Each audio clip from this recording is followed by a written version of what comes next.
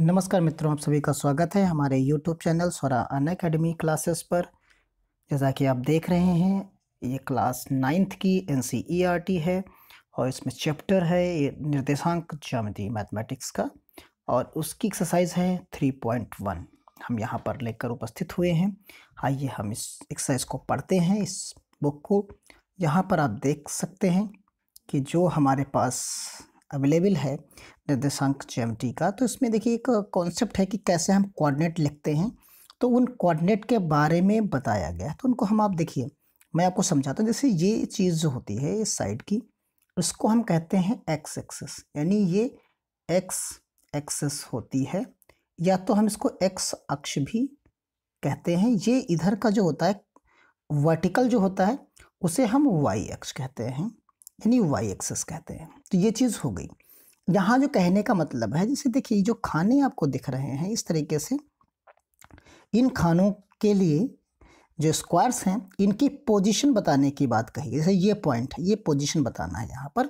तो यहाँ कहा गया कि ये पहुँचने में यहाँ तक लगेगा और इधर से जाएँगे तो आपको ये लगेगा। तो यानी अगर आपको लिखना है इसके कोऑर्डिनेट तो पहले आप एक्स अक्ष का लिखेंगे, फिर वाई अक्ष का लिखेंगे कामा करके। इस तरीके से लिखेंगे। तो आप देखिए, अगर हम इस पॉइंट की कोऑर्डिनेट लिखना चाहें, निर्देशांक लिखना चाहें तो आप क्या लिखेंगे? सबसे पहले इधर की तरफ़ चलेंगे, यानी फाइव चलेंगे। तो ये फाइव हो गया। इसी तरीके से फिर उसके बाद क्या है? ये आपका फाइव चल गया। अब आप ऊपर की तरफ़ कितना चलेंगे? अब देख लीजिए, अब ऊपर की तरफ़, यानी इस अक्ष से ऊपर की तरफ़ कितना जाएँगे थ्री जाएँगे आप। अब थ्री जाएँगे तो यानी यहाँ क्या होगा कॉमा थ्री हो गया। तो इस प्रकार ये फाइव के लिए हो गया और ये थ्री वाई के लिए होगी। तो यही हमारे कोऑर्डिनेट्स यहाँ पर बनते हैं। तो ये चीज़ आपकी समझ में आ गया होगा कि किस प्रकार हम इन चीज़ों को लिखते हैं। जैसे आप मान लीजिए, जैसे ये पॉइंट है, इसको आप दर्शाना है। तो देखिए, यहाँ पर एक्स के लिए हम कितना चल रहे हैं? फोर चल रहे हैं।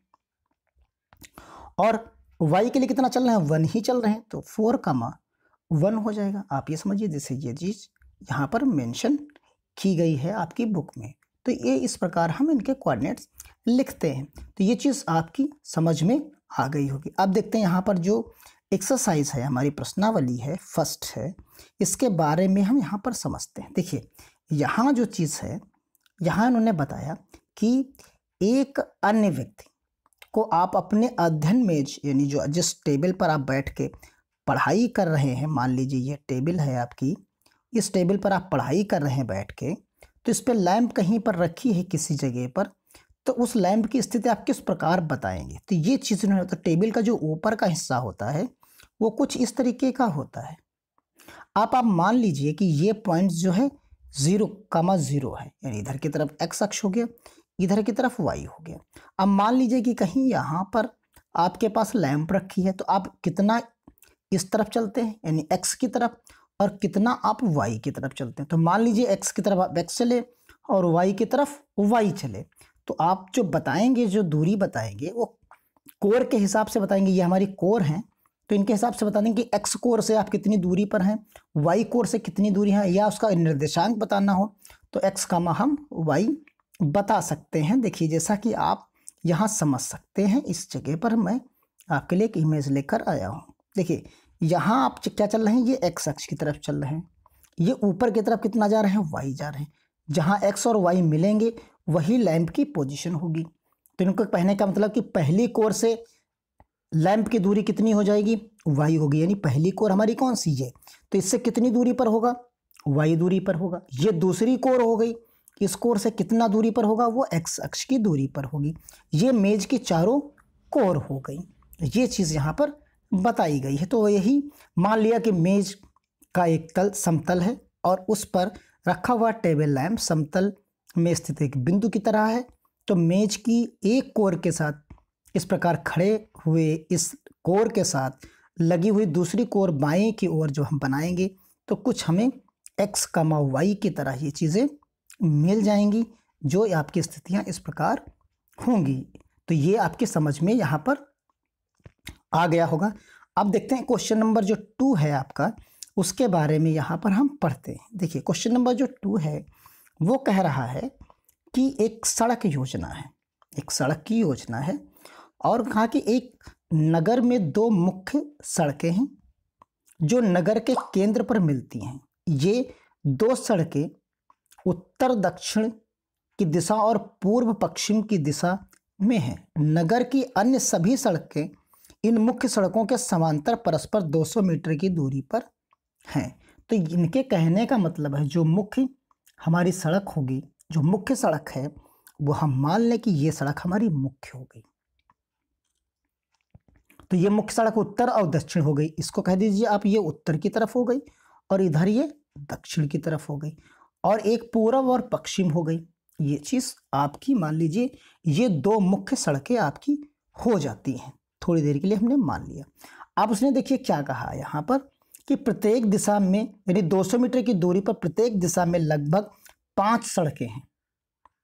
लगभग पाँच सड़कें हैं टोटल और इनकी जो बीच की दूरी है one centimetre equal to twenty metre के पैमाने पर यह नापी गई हैं। तो हम मान लेते हैं कि किस प्रकार से है। तो देखिए, यहाँ हमें चेक करना है कि जो सड़कें होंगी, वो टोटल पाँच करनी है हमको। तो यहाँ पर देखिए, इस जगह पर अगर हम माने पाँच हैं तो एक पैमाना नगर मॉडल का हम बना लेते हैं तो यहाँ कुछ सड़कें कुछ इस तरीके से आपको नज़र आएँगी। यहाँ पर, यानी तीन, एक हो जाएगा इधर की तरफ़, आप दो इधर बना लीजिए। ऐसे सब दो दो सौ मीटर के बराबर होगा, एक होगा, ये दो होगा, और ये आपकी कौन सी हो जाएगी? ये तो मुख्य सड़क हो गई, ये तीसरी सड़क हो गई, ये चौथी सड़क हो गई, और ये पांचवी सड़क हो गई। इसी प्रकार आप देख सकते हैं, अगर आप दूसरी तरफ़ यहाँ आप बना दीजिए तो एक ये हो गई सड़क, एक ये सड़क हो गई। इसी तरीके से तीन सड़कें आप ऊपर बना सकते हैं, ये हो गई। तो यहाँ भी आप लिख दीजिए, एक सड़क ये हो गई, दो ये हो गई तीन ये हो गई, चार हो गई और ये पाँच हो गई। इस तरीके से आप पाँच सड़कें बना सकते हैं। तो जब आप क्वेश्चन नीचे की तरफ़ देखेंगे तो देखिए, यहाँ जो आपको बताएगा क्वेश्चन नीचे, जो पूछा जा रहा है आपसे कि इसी परंपरा से उत्तर दक्षिण और सभी स्ट्रीट बनेंगी तो इसे तब इसे क्रॉस स्ट्रीट दो कामा पाँच, क्रॉस स्ट्रीट दो कामा पाँच की अगर हम बात करें तो देखिए दो कामा पाँच की बात यहाँ करेंगे। ये हमारा दो कामा पाँच होगा। देखिए ये दो हो गया और ये हमारा पाँच हो गया। तो इस तरीके से स्ट्रीट की हम बात करेंगे, वो दो कामा पाँच की बात यहाँ हो गई। इसी तरीके से अगली वाली बात करते हैं इन्होंने, कहा कि ये दो कामा यहाँ पर हम पाँच की बात कर लेंगे, यानी दो कामा ये पाँच हो गया। इसी तरीके से अगर अगले की बात करते हैं, कितनी क्रॉस स्ट्रीट को हम चार कामा तीन माना जा सकता है? चार कामा तीन को माना जा सकता है। तो देखिए, चार कामा तीन का मतलब है कि आप चार ले लीजिए इधर से तो चार आपने यहाँ ले लिया। जो है, हमारा तीन कामा अगला जो बन रहा है, वो चार कामा तीन बनेगा। तो चार कामा तीन का मतलब क्या है? कि ये चार हो गया और ये कामा तीन हो गया। तो इस वाले बिंदु को हम क्या कहेंगे?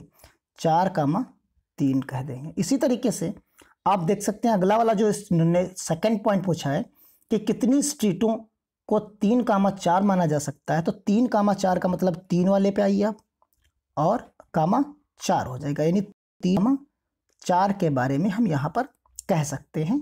तो ये हमारी पॉइंट्स हो जाएगी। तो ये मॉडल जो स्ट्रीट का है, वो चार कामा तीन और क्रॉस तीन कामा चार अद्वितीय यानी यूनिक और अलग अलग ही होंगे, एक जैसे नहीं होंगे। यानी ये स्टेटमेंट अलग होगा और ये अलग होगा। इसी तरीके से हम इनको देख सकते हैं। अब देखिए, यही स्टेटमेंट यहाँ पर पूछा गया है। अगर एक बार हम आपको और समझाने की कोशिश करें तो आप देख लीजिए, यहाँ पर जैसे ये ये हमारी मुख्य सड़क हो गई, एक और ये मुख्य सड़क हो गई। जो पूर्व पश्चिम के लिए होगी, ये नॉर्थ एंड साउथ हो गई, ये ईस्ट एंड ये हमारा क्या हो गया, यहाँ पर देखिए, ये ईस्ट एंड वेस्ट हो गया, ये चीज़ हो गई यहाँ पर। अब आप यहाँ पर देखेंगे कि जो अगली सड़कें हमारी बनती हैं मुख्य सड़क से तो हम तीन इधर की तरफ़ ले ले रहे हैं और दो इधर की तरफ़ हम ले ले रहे हैं। अब देखिए, ये चीज़ें हमारी हो गई। अब इसके बाद जो हम बात करते हैं यहाँ पर तो उनके बारे में देखिए आप, यहाँ पर, यहाँ जो अलग बातचीत होगी, यहाँ पर समझिए इस चीज़ को। तो यहाँ जो हमारे पास बना है स्टेटमेंट एक बार टेक्निकल प्रॉब्लम हुई तो देखिए आप, को हम समझाते हैं, यहाँ पर एक हमने मुख्य धारा ये ले ली, और एक मुख्य सड़क हमने ये ले ली। ये हमारा नॉर्थ और ये हमारा साउथ ये हमारा वेस्ट और ये हमारा ईस्ट हो गया। अब समझ लीजिए। अब उसके बाद आप देखिए यहाँ पर, जो समझने वाली बात है यहाँ पर तो यहाँ समझने वाली बात में देखिए क्या होगा यहाँ पर, कि इस साइड में हमने तीन मुख्य सड़कें दो दो सौ मीटर की दूरी पर बना दी। इसी तरीके से इस साइड में हमने दो सड़कें, पाँच सड़कें उन्होंने बताई थी तो हमने इस तरीके से हमने एक बना दिया। अब एक हमने मान लिया, और यहाँ पर आप क्या कर सकते हैं, और दो सड़कें आप बना दीजिए, जो दूसरी तरफ़ होंगी तो हमने देखा कि दो सड़कें हम इधर बना लें और तीन सड़कें इधर की तरफ़ बना लें। ये सब दो दो सौ मीटर की दूरी पर हो गए इनके नामकरण कर देते हैं। ये एक हो गई, ये दो हो गई, ये दो हो गई, ये तीन हो गई ये यहाँ तीन नहीं, ये तीन हो गई, ये चार हो गई, ये पाँच हो गई। इसी तरीके से अगर आप देखोगे तो यहाँ जो आपको मिलेगा, इसकी तरफ़ तो ये आपको एक मिलेगा, ये दो मिलेगा, ये तीन, ये चार और ये पाँच।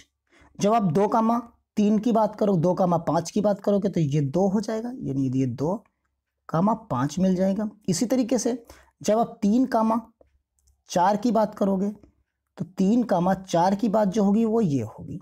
यानी यहाँ तीन कामा चार मिल जाएगा। एक आप चार कामा तीन की बात करें तो चार ऊपर से आया और तीन नीचे, चार कामा तीन की बात हम यहाँ कर सकते हैं।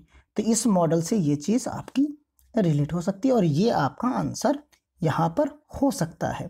तो इस प्रकार ये जो एक्सरसाइज हमारी थी, एक छोटी सी एक्सरसाइज थी, इसे हम यहाँ पर सॉल्व कर लेते हैं और आपकी समझ में आ गया होगा कितनी स्ट्रीट क्रॉस स्ट्रीटों को चार कामा तीन माना जा सकता है। तो आप यहाँ लिख सकते हैं मॉडल से स्पष्ट है। यहाँ पर आप एक लाइन लिख सकते हैं कि मॉडल से देखिए यहाँ लिख दीजिए, इसी जगह पर हम लिख देते हैं। देखिए यहाँ लिख दीजिए। मॉडल से स्पष्ट है है कि क्रॉस स्ट्रीट चार का कामा तीन और तीन का कामा चार अद्वितीय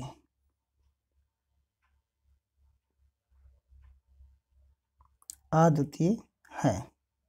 और अद्वितीय और अलग अलग है और अलग अलग अलग अलग अलग है। ये चीज़ यहाँ पर निकल कर सामने आ जाती है। अब मिलते हैं हम अगली एक्सरसाइज में, अगले वीडियो में, अगले सवालों के साथ अब हम पढ़ेंगे अगली एक्सरसाइज में थ्री पॉइंट टू एक्सरसाइज को। ये एक्सरसाइज थी जो हमारी थी, प्रश्नावली वो थ्री पॉइंट वन थी। इसी के साथ विदा लेते हैं। धन्यवाद। जय हिंद, जय भारत।